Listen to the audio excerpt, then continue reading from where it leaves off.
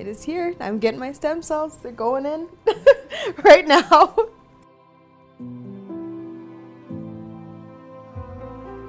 My name is Revea Japan and I am here at the Tom Baker Cancer Center for a bone marrow transplant. I have sickle cell anemia. I was diagnosed at two and it's been something I've been struggling with my entire life. I've experienced lots of um, emergency room stays. I know when I was growing up, I felt it a lot in my stomach and my back and my chest. But then as I got older, it, was, it became more of a joint and a bone pain. Very sore, very tender. And that pain is just very intense. Like I would say that pain is 10 out of 10.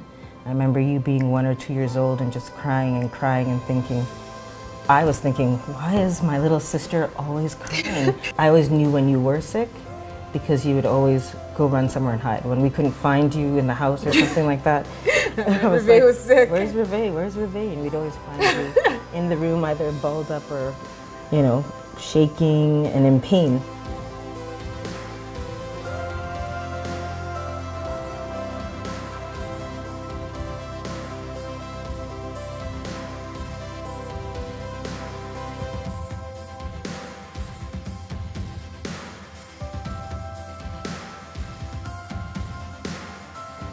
Eventually, Reve came to see me and said she wanted to explore the business of bone marrow transplant or stem cell transplant. The Alberta Children's Hospital has extensive experience in transplanting children with sickle cell anemia, and so we thought that we would build on that experience by expanding the program into the adult world. It's not for everyone. Uh, you require a sibling, a brother or sister who's got a, an HLA match or a tissue match uh, to serve as a donor. If you don't have that, we uh, can't do the transplant.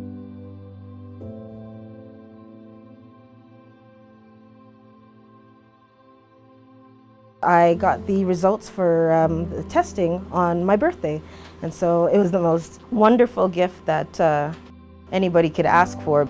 To me, getting these stem cells is pretty much getting a gift of life, a gift that nobody else could give, and she's just so willing to give this to me, which yeah, makes me really happy. I'm very fortunate to have her.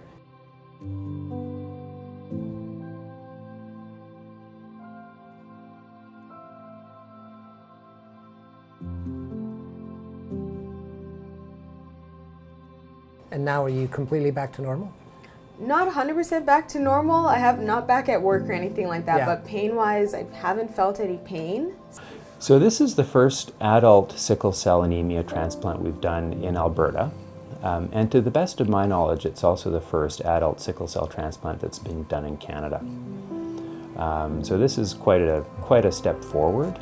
We hope that the way her blood looks right now, um, with her decreasing levels of sickle cell hemoglobin, uh, that this ultimately mean that Reve will be cured from her sickle cell anemia. Seeing her, mm-hmm. there's no pain.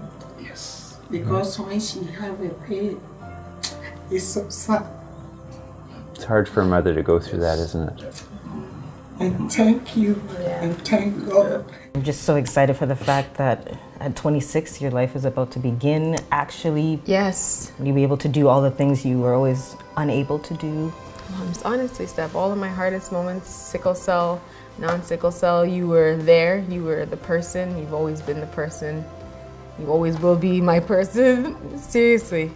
My sister, my best friend, my donor, my everything. I'm so happy, so lucky to have you. Love you so much. Love you too.